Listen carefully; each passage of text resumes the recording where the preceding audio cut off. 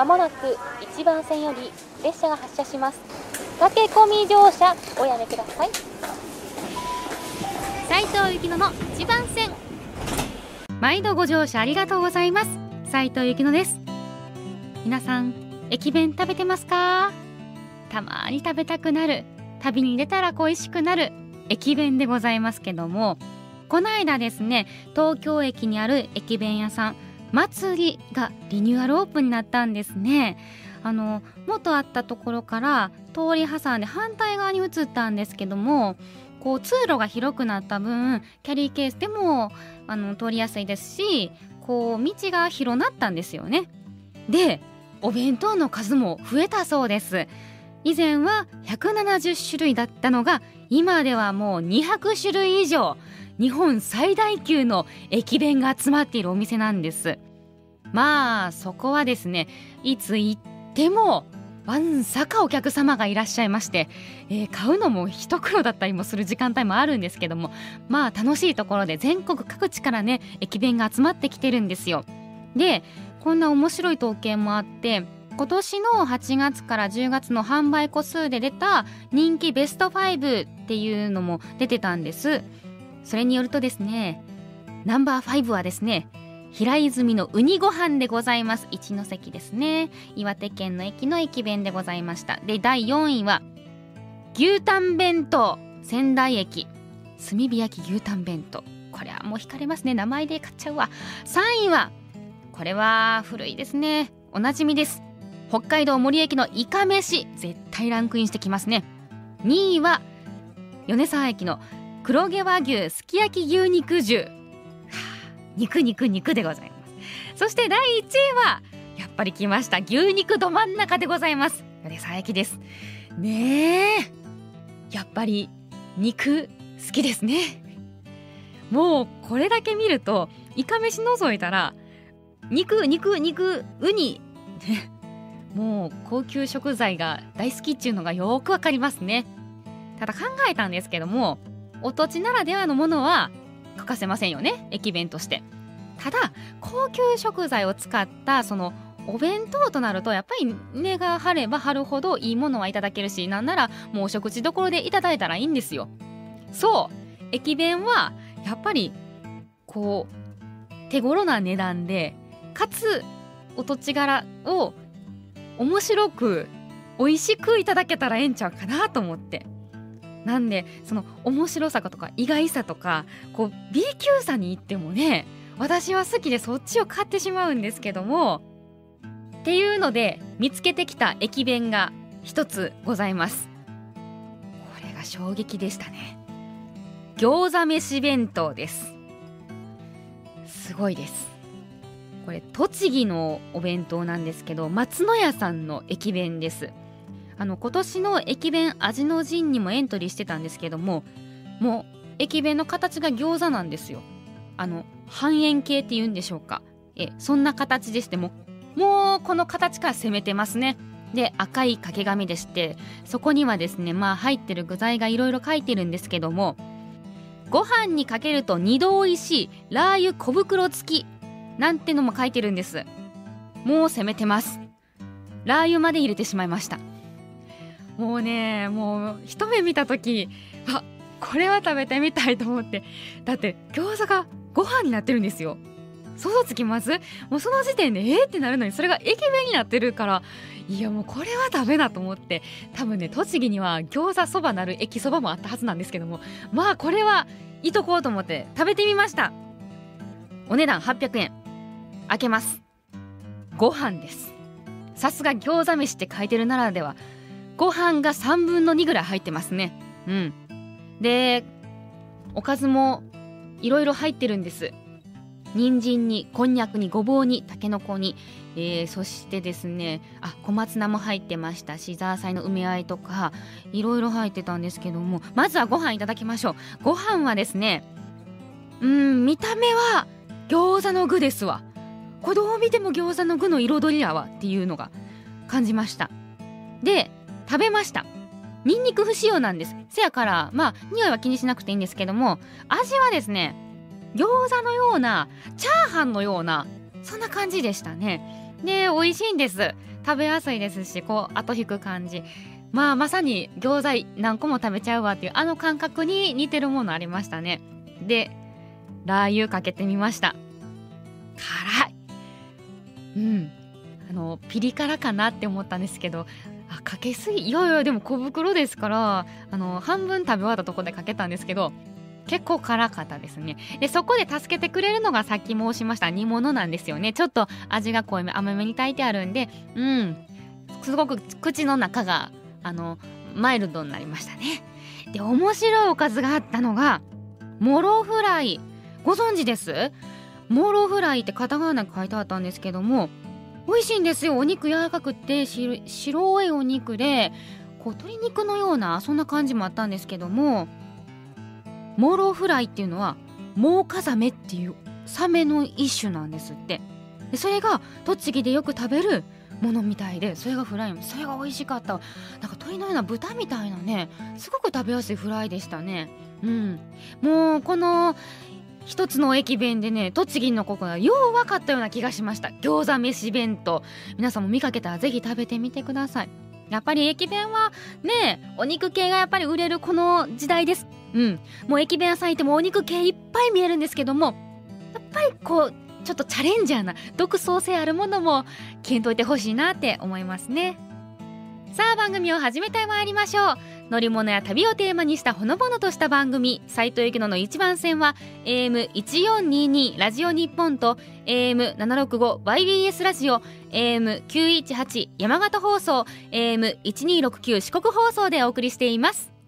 それでは斉藤由紀乃の一番線スタートです。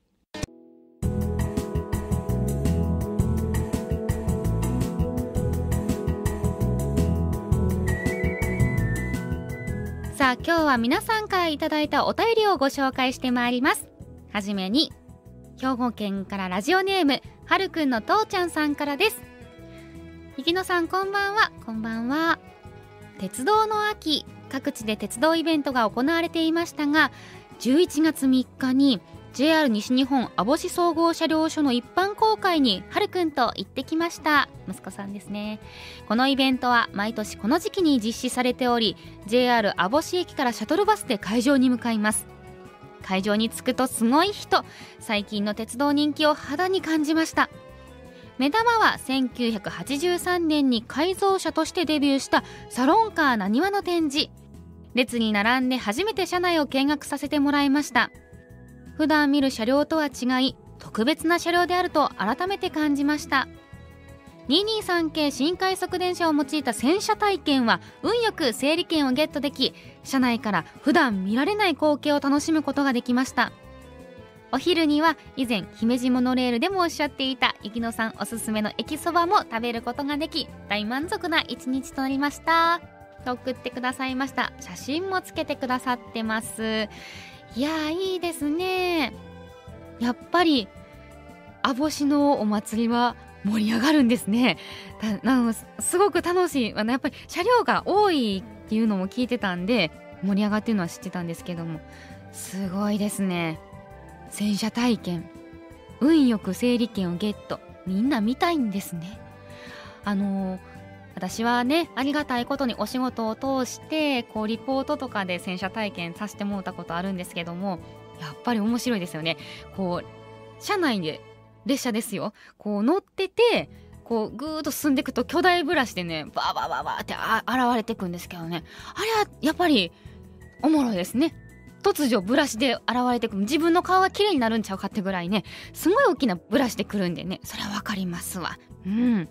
でサロンカーなにはいいですよね。もうホームに入ってたらわ似てるやんってなります。ジョイフルトレインですからそうそう会われへんのですよ。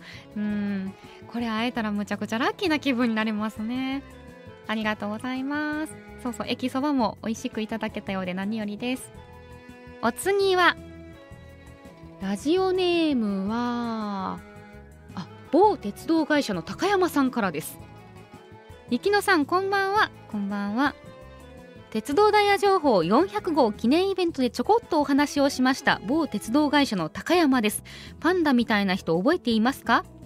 おっと。うん。お会いしたら思い出すかもしれないな。はい。さて先日に南海さんの秘境駅を紹介されていましたね。実は東京の地下鉄にも秘境駅っぽいところがあります。それは丸の内線四谷駅で新宿荻窪方面の最後尾車両で上智大学側でなく迎賓館側の向きで見てください。木々の緑で生い茂っています。中央線五所トンネルの高口付近ですが地下鉄が中央線の上を走っており不思議な感覚になります。ちょっとした我が社のトリビアでした。と教えてくださいました。写真とともに送ってくださってますね。ありがとうございます。ん？我が社のトリビア？あれ？丸の内線って某鉄道会社って書いてますけど東京メトロの方でしょうか？あお便りありがとうございます。嬉しいです。えー、秘境駅？え四谷駅が秘境駅？なわけない。そんなわけないけども写真を見るとやっぱり秘境駅っぽいですね。えー、どこのどこの山中やみたいな感じで。もうドア一面ハパですね向こう側ホームの先が。へえこんなとこあるんですね。ほんでお便りにもありましたけどもこの中央線ね。あの JR の中央線の上が丸の内線そこ走ってるっていうことでちょっと調べてみたらこの五所トンネルっていうのがまた味があるそうで。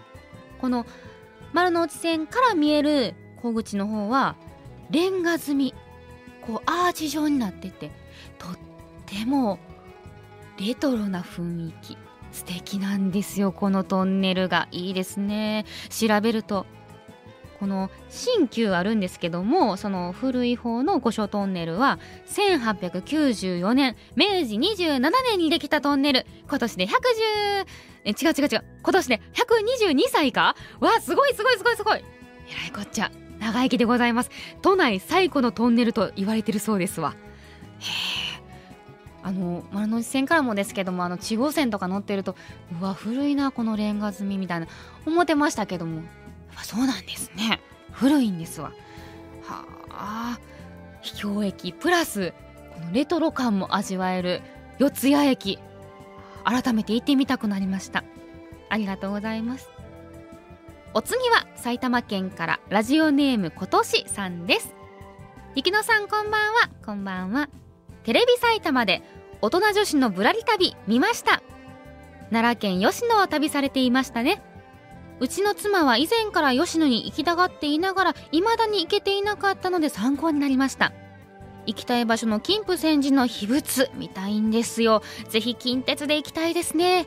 それにしても雪乃さんは観光特急のシンフォニー内でも一杯いただいていましたね。本当に好きですね。お酒が。自分は飲めないもんでとお便りいただきました。ありがとうございます。あら見てくださったんですね。あの近鉄さんのこの番組があったんですよ。あの観光特急青のシンフォニーで行く奈良県吉野天川村へっていうね番組があって関東でも一部放送があったんですけどもまあええー、とこですね。奈良の吉野天川っていうところはあの内陸部なんですけれども青のシンフォニーはもうね最高の乗り心地でえー、もうあの通勤型の列車をね改造してるんです。もうそれと思えないほどのゆったり感で奈良の吉野まで運んでくれるわけです。ただねこれめちゃくちゃ人気でこの間も乗ろうとしたんですけども水曜休みなんですけどもねなかなか切符取れませんね。大人気の列車です。ほんで吉野の金峰山寺大きいお寺です。んでものすごく大きいねあの仏像さん仏さんがあるんですよ。うん。この冬あの特別のこうご会長もされてたような気がします。はい。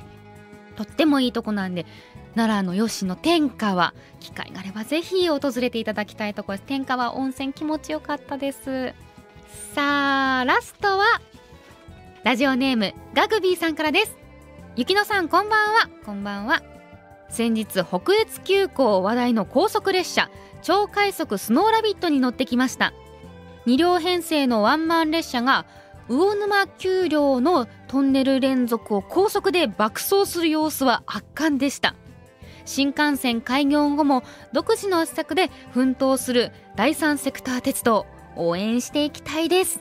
と送ってくださいました。いやほんまですね。そうそうそう。超快速スノーラピッドができましたって。あの鉄道ニュース1422でもやったと思うんですけども。名前がもうすごい。超快速。もう特急より速いんちゃうかっていうぐらいのインパクトですよね。うん。改めて調べてみると越後ユザーから直江津最短57分で結んでいて停車駅は十日町のみ。っていう列車もあるそうです。まあそのぐらい急いでますから。超快速なんですね。いい名前やわもうずっとずっと走ってほしいと思います。頑張ってほしいですね。皆さんお便りありがとうございます。この番組ではあなたからのお便りをお待ちしております。旅のリポートや私への質問曲のリクエストなどなど何でも OK です。そしてメッセージテーマ。実は点点点実はあの有名人と遠い親戚です。とか実は宝くじで3000万円当てたことがあります。とか、まあ、ずっと家族には内緒にしてるんですが実はっていう秘密。あまり人には言ったことない話をカミングアウトしてください。このテーマ匿名希望 OK です。メールの方はゆきのアットマーク JORF.CO.JP おはがきの方は郵便番号106-8039ラジオ日本斉藤幸乃の一番線係までお願いします。それではここで一曲お届けします。ラジオネームは大阪市から。一番線大好き達也さんです。幸乃さんこんばんは。こんばんは。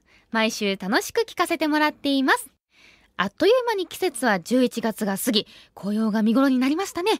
ゆきのちゃんもよくご存知の佐賀の観光鉄道トロッコ列車。紅葉の美しさをきらびやかに映し出しとても綺麗ですね。そして毎年人気の黒部峡谷鉄道、僕も一度訪れてみたいです。列車に揺れながら眺める紅葉、最高ですね。定番の観光地から穴場スポットまで絶景の紅葉列車。池野さん、おすすめのスポットまた乗ってみたい列車ありますか？うん、私もトロッコ乗りたい。リクエストはワンオクロックで君したい列車。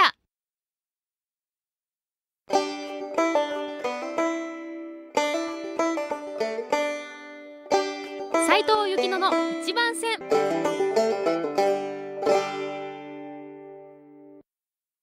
鉄道ニュース1422このコーナーでは話題の鉄道ニュースをご紹介。私斉藤幸乃が解説員の方にいろいろと教えていただくコーナーです。まずは天の声さん今日のニュースをお願いします。小田急電鉄新型特急ロマンサー7番型の製造決定。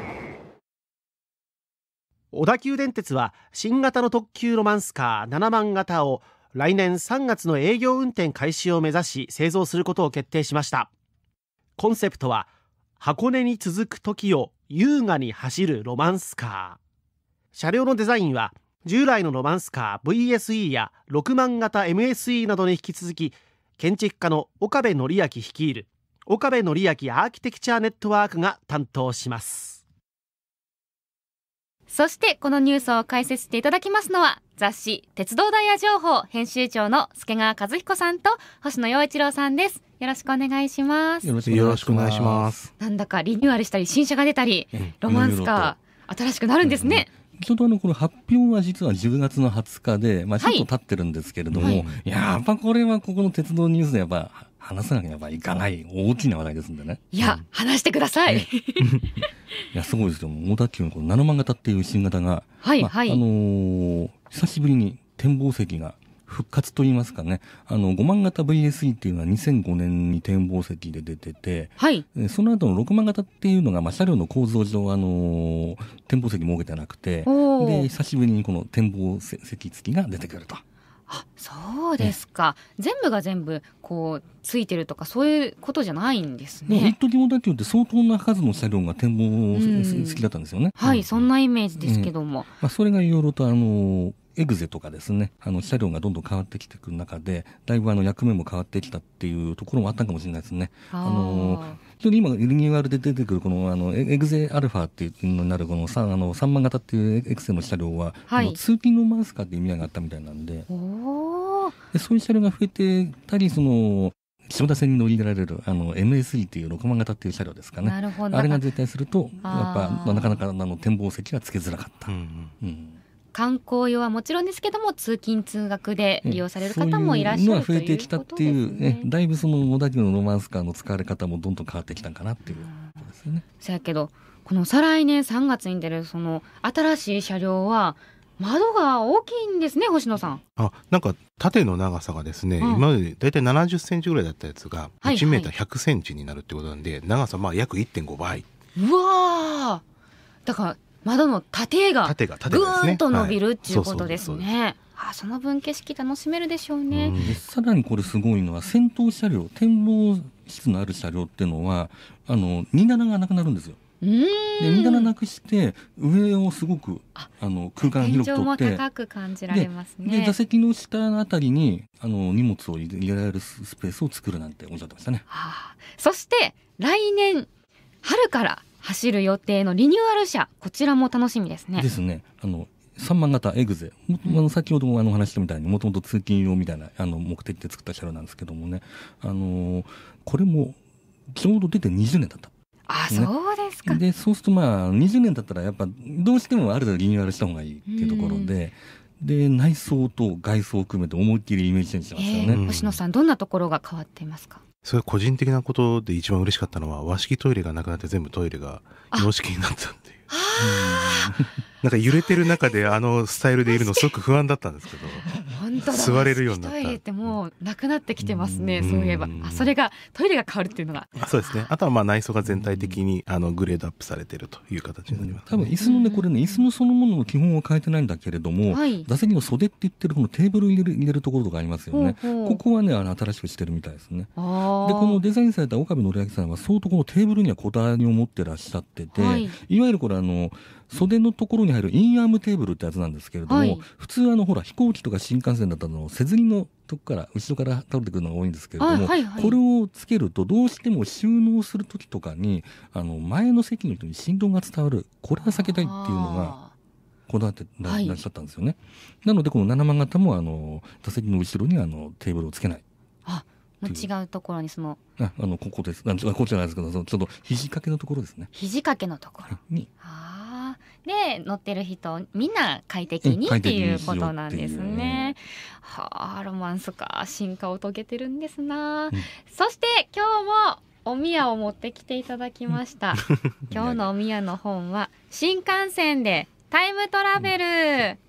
可愛らしい絵本ですあのね。子供さん向けの本なんですけどもうね。ん。うんあの新幹線の歴史みたいなのが入ってるんで。本当だ1960年代から70年代からずっと始まってますね。うんあの古い写真も多いので、それお父さん世代も楽しめるんだろうなと。ですね年表が横ついてまして、はいはい。あのそこでその世相もねこの時何があったかなんていう年表も入ってますんで。なんかピンクレディーがとかなんか言われるとねイラストで描いてたりそうそうそう子供以外も意外と楽しいんじゃないかみたいな本当だ。襟巻きトカゲとかそう襟巻きトカゲありましたねの時が200系なんですね。そうそうそうそうそうあ、そうですか。なんか歴史の勉強にもなりますね。ああ、こうイラストが書いてあったり、全面カラーなんで見やすいですね。うん。いろいろまああの写真も古いのから、まあ古いのどうしてもモノクロが多いんですけれども、うんうん。切符があったりとかですね、うん。いろんな写真も多く出してますんで。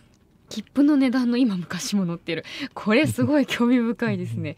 うわあもうこの一冊があれば新幹線博士になれると思いますわ。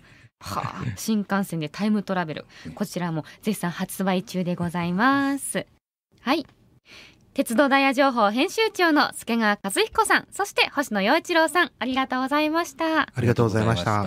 以上鉄道ニュース1422でした。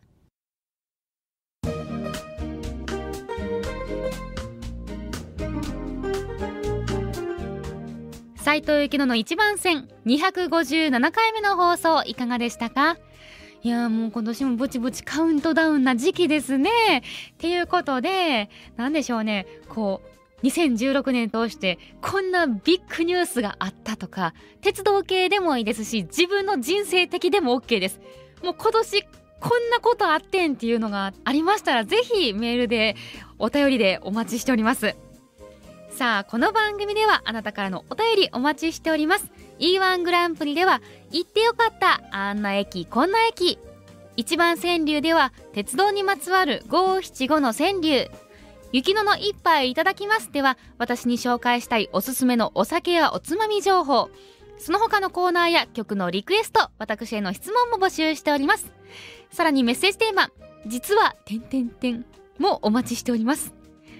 メールの方はゆきのアットマーク JORF.CO.JP ゆきのアットマーク JORF.CO.JP おはがきの方は郵便番号106-8039ラジオ日本斉藤由紀乃の一番線係までお願いします。それでは来週もこの時間にお会いしましょう。お相手は斉藤由紀乃でした。